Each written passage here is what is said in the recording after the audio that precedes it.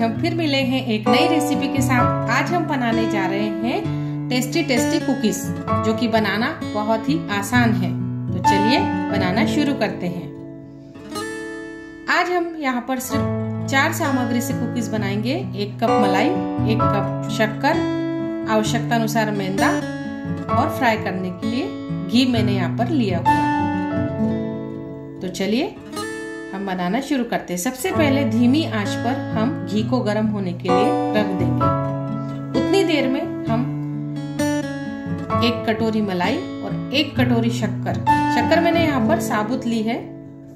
इन दोनों चीज़ों में हम जितना मैदा डालकर गूंद सकते हैं, उतना ही मैदा अंदाज से हम यहाँ पर लेंगे।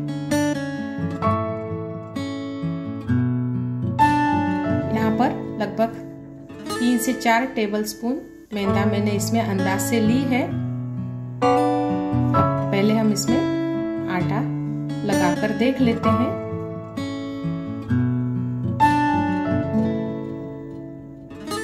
हमें जो भी आटा गूंदना है, वो पूड़ी के आटे जितना सख्त आटा लगाकर तैयार करना है।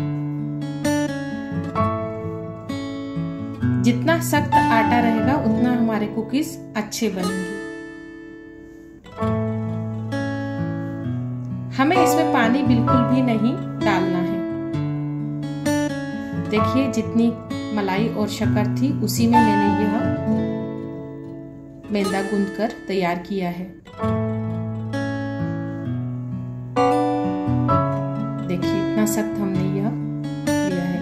अब हम आटे को सेट होने के लिए बिल्कुल भी नहीं रखेंगे, हम तुरंत ही इसके कुकीज बनाकर तैयार करेंगे। इसको मैं दो हिस्सों में लेकर इस आटे को सेट करूँगी।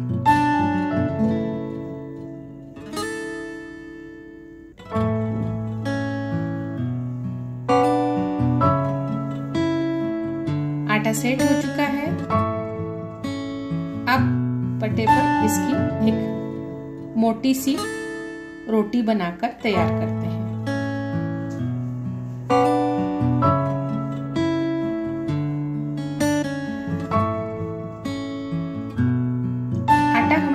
सख्त है, इसलिए थोड़े से आसपास से जो किनोर है, वो बेलते टाइम थोड़े फटते हैं, इसलिए हम उसको थोड़ा सा सेट करते रहेंगे।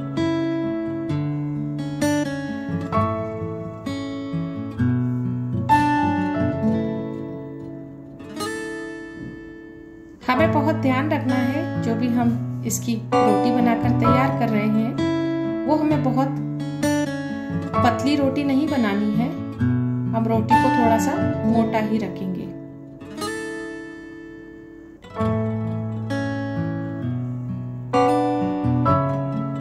अब देख लेते हैं इतना मोटा हमने रोटी को रखा है।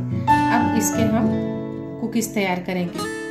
आप अपने मनचाहे आकार में इसको कट कर सकते हैं। मेरे पास यह कुकीज कटर है। मैं इससे यहाँ पर कुकीज कट करूँगी। आपके पास यदि कुकीज कटर नहीं है तो आप किसी भी डिब्बी का ढक्कन इस्तेमाल करके कुकीज बना सकते हैं। अब यहाँ पर एक कुकी मैं आपको बनाकर बताऊँगी। देखिए, इस तरह से हमें सारे कुकीज बनाकर तैयार करने हैं। ये सारे कुकीज तो मैंने तैयार कर लिए हैं। बहुत ही धीमी आँच पर फ्राई करने के लिए कढ़ाई में डालेंगे। बहुत ही धीमी आँच में हमने इसको डाले हैं और पूरे समय तक हम इसको धीमी ही आँच में फ्राई कर लेंगे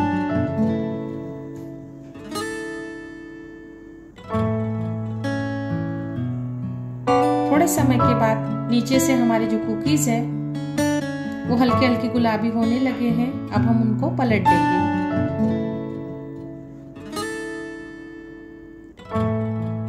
सारे ही कुकीज हम पलट देंगे।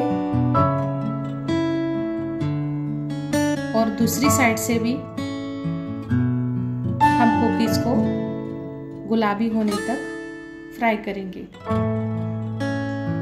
देखिए, सारे कुकीज अच्छे से गुलाबी हो चुके हैं। अब हम इनको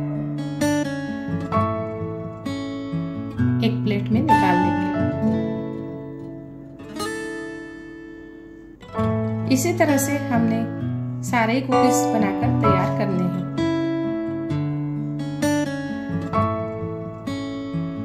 देखिए कितने बढ़िया कुकीज हमारे तैयार हो चुके हैं। बहुत ही खस्ता और जालीदार कुकीज बनकर तैयार है। बहुत ही आसान सी विधि में और कम चीज़ों में हमने यह कुकीज बनाकर तैयार की है। और इतने टेस्टी यह कुकीज खाने के लिए होते हैं कि आप जब चाहे जब बनाकर खाना पसंद करेंगे।